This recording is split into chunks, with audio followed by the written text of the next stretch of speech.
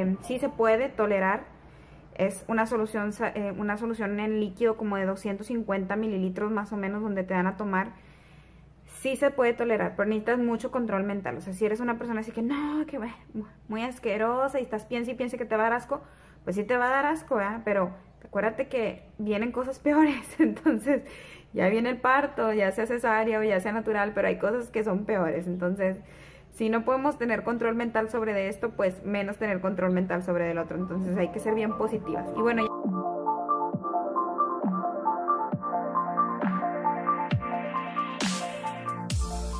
no me quiero quitar los lentes porque se quedando muy fregada. Hoy no me quise levantar tan temprano, siempre me levanto súper temprano, amigos, súper, súper, súper. Ahorita son las 6:40, algo así. Tengo el examen de la glucosa. Es y la verdad, como ya sabía que tengo que ir en ayunas, dije, ¿cuál es el caso de levantarme temprano si ni siquiera me voy a poder tomar un café? O sea, no, me, pidieron que no tomara nada, porque me van a hacer la prueba em, en ayuno y luego me van a, dar a tomar una sustancia muy dulce y luego me, me, tengo que esperar una hora y luego me van a hacer otra prueba. Entonces también dije, Ay, no tengo ganas de, o sea, estar dos horas trabajando aquí porque siempre me levanto y trabajo un poquito en, las cosas del closet, de la cómoda y todo eso. Bueno, ya estas últimas semanas. Y en lo que estoy haciendo eso me tomo un cafecito, pero ahorita pues no puedo tomar nada. Mm, sufro con prechos.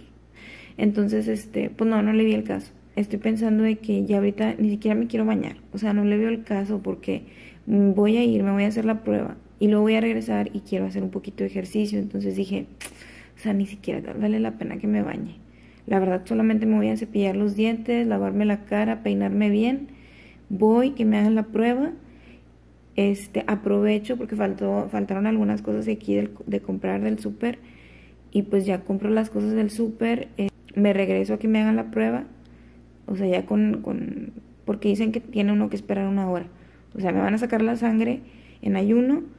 Me dan a tomar la cosa esa. Y luego regreso en una hora para que me hagan la prueba. Entonces que me saquen la sangre, paso a HIV, compro lo que faltó y luego ya, ahí me quedo para que me saquen la prueba, la prueba de sangre. Bueno, ya es un poquito más tarde. Este está haciendo un frío, chicos.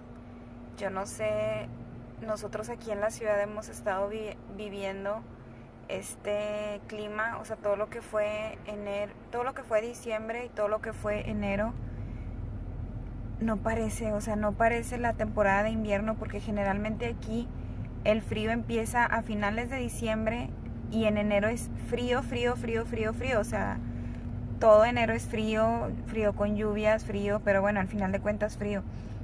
Pero este enero, yo no sé si es a consecuencia del cambio climático y todos los problemas medioambientales que hay en el mundo, este enero ha sido un enero muy raro, o sea, ha sido un enero de que nos ha tocado que en la mañana está así fresco o muy, muy frío, así como andamos ahorita. Yo traigo hasta, hasta guantes.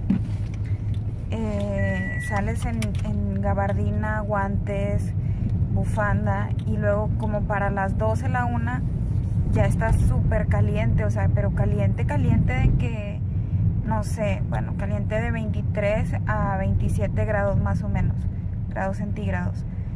Y, es de que, por ejemplo, Axel, cuando venimos del colegio, que ya, ya son sus últimas clases y todos salimos los dos, eh, Axel viene sudado y quitándose la sudadera y que está bien caliente, el carro se siente bien caliente, o sea, está bien raro el cambio climático.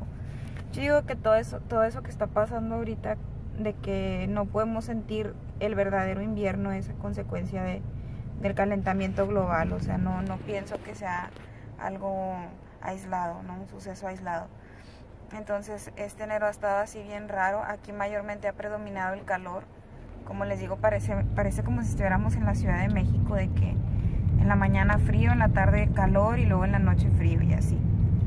Lo peor es de que, bueno, gracias a Dios, bueno, no lo peor, lo bueno. Lo bueno es de que gracias a Dios yo he traído mis defensas altas Ay, cosa de la que estoy muy agradecida porque con el embarazo y tan, los cambios así tan bruscos de temperatura, imagínense que me esté enferme y enferme y enferme. Gracias a Dios no me he enfermado, por eso digo que este embarazo ha sido una chulada. O sea, no me he enfermado ni me he sentido mal de nada.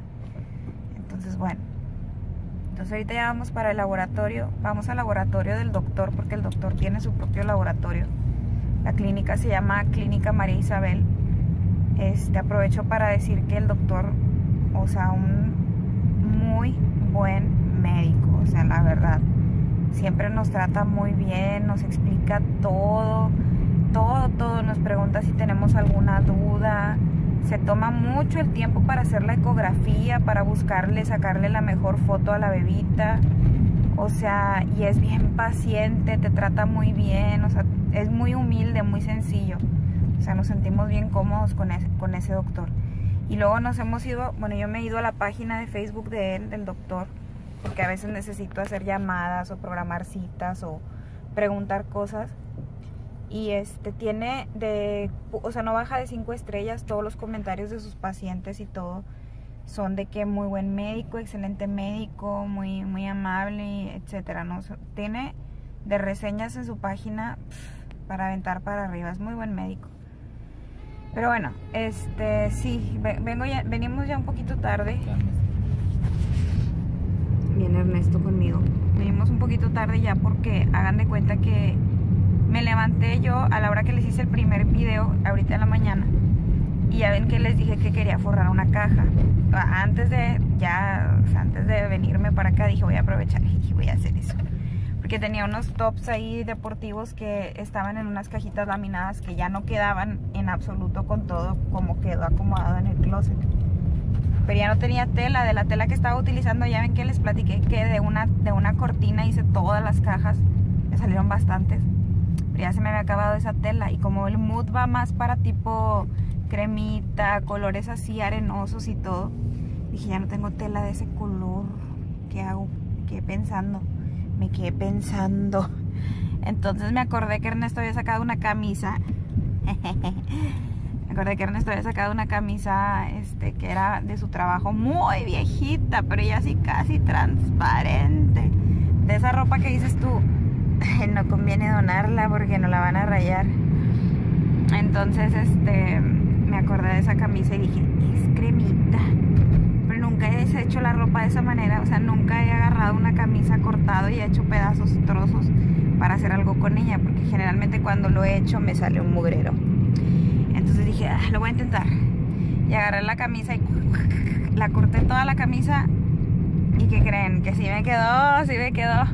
Quedó bien bonita la cajita, quedó así casi, se ve igualito que todo lo que tengo ahí en el cuarto, en el closet.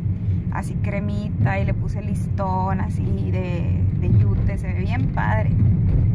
Me faltan, creo que me van a faltar dos o una grande, porque ahí voy a guardar ya los vestidos para que el closet se vea así súper organizadito. Este, como yo quiero que se vea y yo creo que ya con eso termino el proyecto del closet. Claro, va a faltar el espacio de la lavadora y la secadora, pero eso ya... No, eso yo creo que yo ya no puedo hacer nada. O sea, ya... O no sé. Ya veré, a ver qué puedo hacer. Pero por ahí ya por el proyecto del closet, hasta ahí ya le voy a parar. Pero bueno, ya vamos a llegar. Bueno, no, todavía nos falta mucho para llegar, pero si no, este video se va a hacer muy largo. Al ratito platicamos. Bye. Bueno amigos, desde aquí, desde la puerta de la entrada de mi casa, ya regresamos de hacerme la prueba este, me tomaron una muestra en ayuno y luego me dieron a tomar una solución. La solución tenía así como mucha azúcar, se me hizo sumamente azucarada. La chava me dijo, tómatela súper rápido, dijo al hilo, como dicen por ahí vulgarmente. Tómatela al hilo porque dijo lo más seguro es de que te vas a ver muy mal si te la tomas despacio y ya no te la vas a querer tomar. Entonces me la tomé al hilo este, de entrada así como que, pues obviamente al terminarme la de pasar me supo así muy, muy dulce. Y después me empecé a sentir mal, o sea, empecé a sentir así como que, o sea, me, una sensación así de asquerosidad tremenda que no se puedan imaginar por lo dulce, lo extremadamente dulce. O sea, a mí me gustan las cosas muy dulces, pero esto era una exageración, o sea, muy dulce. Este, empecé a sentir bien mal, me, me quedé sentada ahí como que tratando de aguantar porque ya había escuchado de que hay otras personas que se vomitan y que tienen que repetir la prueba y pues ya no, ya no funciona, o sea, ni el gasto O sea, me imagino yo que supongo que te han de cobrar algo, ¿verdad? supongo, porque pues ya te, ya te sacaron una muestra de sangre, ya te dieron la solución, etcétera, y luego tú vomitas y pues ya no te va, no te va a funcionar, o sea, te la tienen que repetir toda de nuevo. Entonces me aguanté, me aguanté, me dijo la muchacha, no te puedes mover de aquí. Dijo, tienes que estar una hora aquí sentada. Y así como que, mm, bueno, mi plan era como que toma, eh, tomarme líquido e ir a hacer algunas compras al súper. Pero no fue posible. Entonces Ernesto se fue al súper a comprar las cosas que nos hacían falta. Y yo me tuve que quedar sentada, aburrida, esperándome a, que se me pasara el achaque, el malestar. Y bueno, ya, este, sí, como les digo, me sentí así mal, nada más que pues fue control, fue puro control mental de que respira, aguanta, cierra los ojos, no pasa nada, tú puedes, etcétera.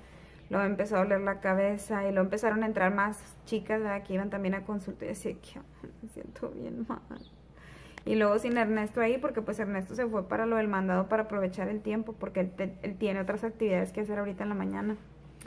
Y fue así que sola pasando por esto. Bueno, total. Pasó la hora y luego ya era tiempo de sacarme la, segunda muestra de sangre. Perdonen mi cara, pero es que de verdad simplemente lo único que hice fue este vestirme y ya irme así, porque ahorita como les digo ni siquiera me bañé, no pude tomar café, no he desayunado nada, pero quería grabar esto al momento. Entonces ya llegó el momento de sacarme la segunda muestra de sangre y luego me dice la muchacha, oye, es este, ah, no, yo le dije a ella, le dije, ¿me vas a sacar del mismo brazo o me vas o, me pongo del otro lado? Porque traigo abrigo, o sea, traigo para saber de qué lado me iba a quitar el, este, el, saco. Y me dice, no, me dice, este, del brazo que tú quieras. Y me quedé pensando así como que, de esas tontas decisiones que te tardas un chorro, de que, ¿del derecho del izquierdo? ¿De cuál? Entonces ya me había sacado sangre del brazo izquierdo. Dije, pues la lógica sería que me lo sacara del derecho. Pero dije, ¿para qué voy a andar picoteada de un lado y del otro? Dije, no, pues si ya me picó en un lado, que me pique de una vez de ese mismo lado. Dije, no, le dije, dale aquí en este mismo, en el izquierdo. Este, aparte yo soy, tengo mucha tolerancia al dolor. Entonces me, lo puso la segunda vez sobre de la misma vena. No manchen amigos, me dolió.